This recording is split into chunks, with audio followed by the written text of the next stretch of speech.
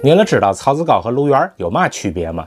大家好，我是姐姐，今儿个早点吃点嘛呢？今儿个早点吃祥德斋的草子糕，还有海河牛奶，咖啡味儿的，这个搭配您了觉得怎么样？话说，您了知道草子糕和鹿园有嘛区别吗？哎，没有区别，是一样的。我记得小的时候在姥姥家，姥姥就自个儿带鸡蛋，还有核桃仁儿，还有葡萄干儿去定做草子糕。那个时候特别流行定做草子糕，而且自个儿带鸡蛋呢，就可以保证这个鸡蛋的量更多。然后根据自己的口味呢，还可以加一些配料。就是自个儿带这葡萄干儿啊、南瓜籽儿啊、核桃仁儿啊等等。我先把牛奶倒杯里，看看多耐人。打开看一下呀，哎，看一下，就是你仔细看啊，它这个里面有个特别细微的这个小黑点点，知道是嘛吗？哎，桂花。嗯，咖啡味儿的海河牛奶呢，就是喝起来带有一些焦香味儿的这个咖啡的香味儿，要是这种甜感，哎，挺好喝的。吃起来这口感呢，瓷实，然后带有软，哎，口感刚刚好。你冒起来啊，就是也感觉挺扎实，这个回弹也正好，就能证明这个鸡蛋的比例呢挺高的。小时候吃这草子糕，哎，就是搭配牛奶，哈哈哈。还有大黄油饼干也是搭配牛奶，就是这种槽子糕的这种特有的这个香甜感，我特别喜欢。泡牛奶就是经典的吃法。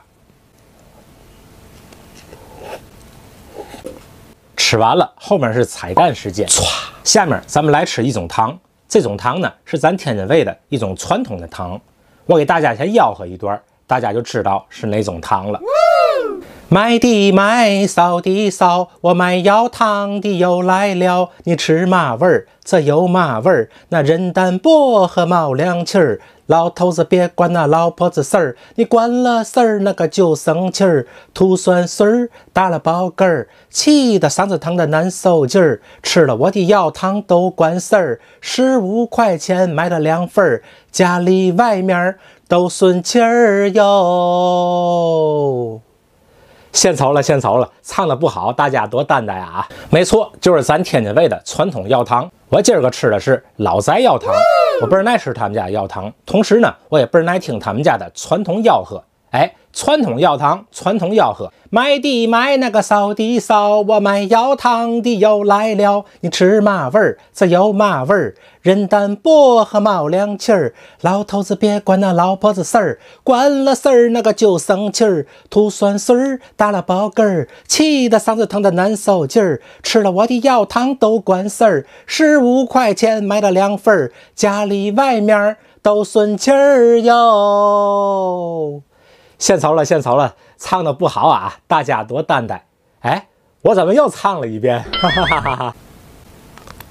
他家这药汤啊，就是你放嘴里一上来是这个小甜感，紧接着就是凉身的感觉。这个凉身的感觉呢，就是唰唰唰唰，噌，哎，越来越凉身，棒棒的。彩蛋还没完啊，还有一个彩蛋，下面咱吃一个咱天津的小零嘴儿，哎。有朋友叫它栗阳羹，还有朋友叫它栗子羹，还有朋友叫它豆阳羹。咱们来尝尝，跟小时候的味道一样吗？栗阳羹啊，里面主要的食材就是红豆，还有这个栗子。嗯，红豆香会比较浓，味道我感觉跟小时候的味道差不多。这个甜度呢，虽然就是比小时候的甜度降低了一些，但是我感觉还是挺甜的。如果再降低一点，我感觉会更好。哎，您了觉得怎么样呢？如果您了喜欢我的视频，欢迎留言、点赞、收藏、转发，爱你哟，棒棒的！